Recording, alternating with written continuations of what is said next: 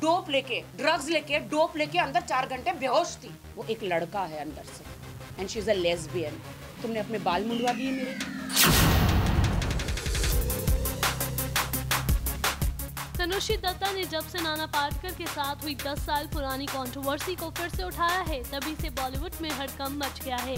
लेकिन अब तनुश्री के पीछे हाथ धोकर ड्रामा क्वीन राखी सावंत पड़ गई हैं।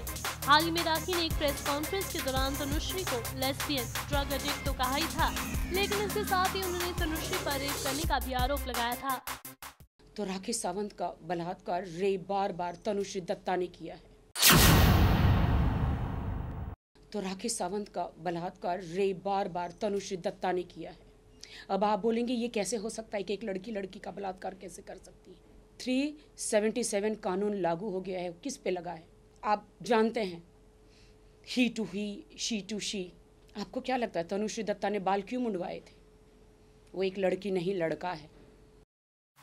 वहीं तनुश्री ने भी हाल ही में एक इंटरव्यू के दौरान राखी को खरी खोटी सुनाई है। उन्होंने सबसे पहले तो कहा कि मेरे माता पिता ने हमेशा सोच समझ कर सही दोस्त चुनने की सलाह दी है। मैं उनके सुझावों को मानती हूँ।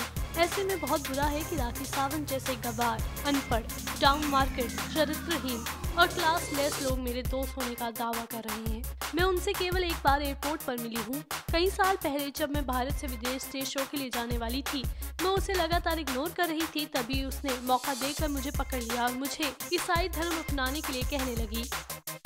वहीं इसके बाद तनुश्री ने गुस्से में ये भी कहा, मैंने अपना सर मुंडवा लिया तो मुझे समलेंगी कह रही है। हिंदू और बौद्ध दोनों धर्म में दीक्षा ग्रहण करने के दौरान अपने बालों का दान करते हैं। उसने कहा कि बगैर ड्रग लिए पहाड़ों पर ध्यान नहीं लगा सकते। जितने भी महान योगी हिमालय में तपस्या कर रहे हैं तो क्या वो सभी ड्रग एडिक्ट है? तुम्हें केवल पैसे और सेक्स से मतलब है। क्या तुम अपने दिमाग का भी प्लास्टिक सर्जरी कराओगी?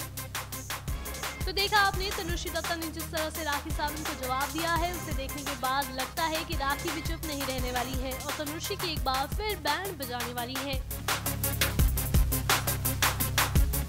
well, आपको क्या लगता है राखी और तनुश्री में से कौन सही है और कौन नहीं? हमें कमेंट करके ज़रूर बताएँ।